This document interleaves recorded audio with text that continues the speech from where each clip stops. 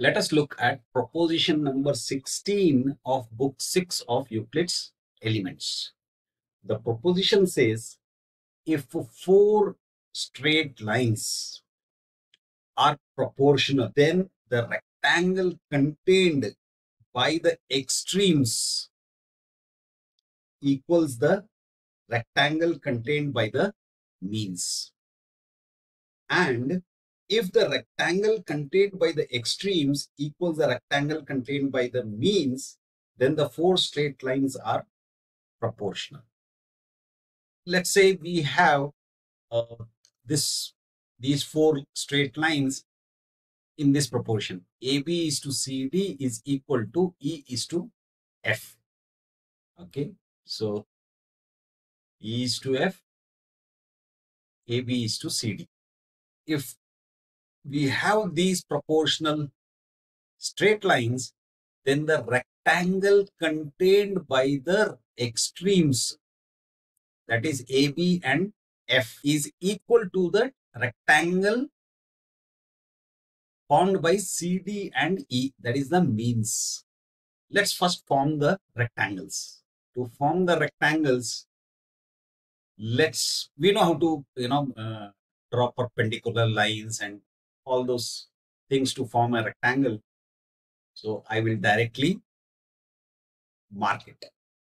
So you have G, you have K, and let's form the rectangle.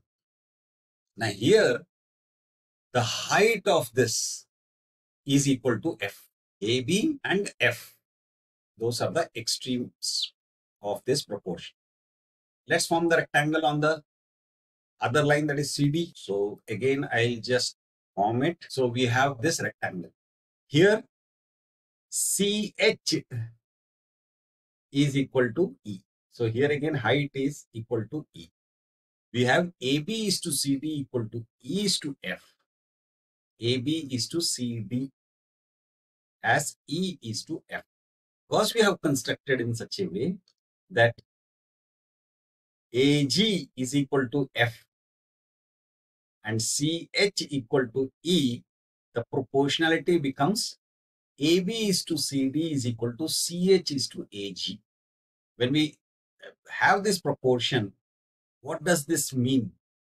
It means that the rectangle BG is equal to rectangle DH. Rectangle BG and rectangle DH. Now, on what basis are we saying this? Remember, this is equiangular parallelograms. All the angles are 90 degrees. And we know in parallelograms, sides about the equal angles are inversely proportional. So here we have uh, inversely proportional. So we can say rectangle BG is equal to rectangle BH. Now we know that rectangle BG can be written as AB by AG. AB by AG is equal to rectangle DH can be written as CD by CH. AG is nothing but F, CH is nothing but E. So we can write it as AB by F is equal to CD by E. So that is what we had to prove that AB by F is equal to CD by E. That these two rectangles are equal to each other. And these rectangles were formed by the extremes and the means of the proportional straight lines. Remember, equal means that the area contained by them is equal. Don't believe me? Let me just mark it. So area here is 13.06 square units and here it is 13.06. Now just watch as I move it. The areas remain the same. Whether I move this or whether I increase AB.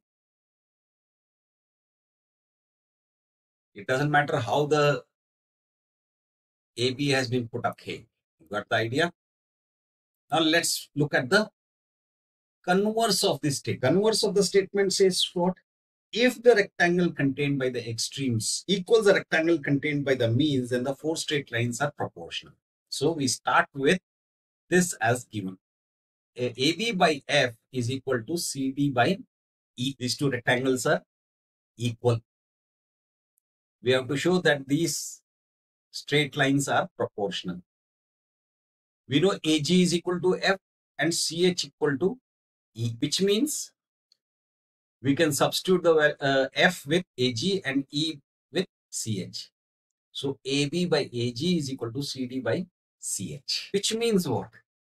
That the rectangle BG is equal to rectangle DH. And we also know that BG and DH are equiangular. So again, this tells us that AB is to CD is equal to CH is to AG. Why? Again, in equiangular parallelograms, the sides about the equal angles are inversely proportional, which can be written as AB is to CD equal to E is to F. Why? Because CH is equal to E and AG is equal to F. So we have shown that if the rectangles contained by the extremes equals the rectangle contained by the means, then the four straight lines are proportional. So that was proposition number 16 of book 6 of Euclid's Elements. Again, let me remind you, there is a link to a PDF book which describes all these propositions in detail. Please feel free to download it, refer to it, and if you think somebody else can also benefit from it, please do share it. That's it for now.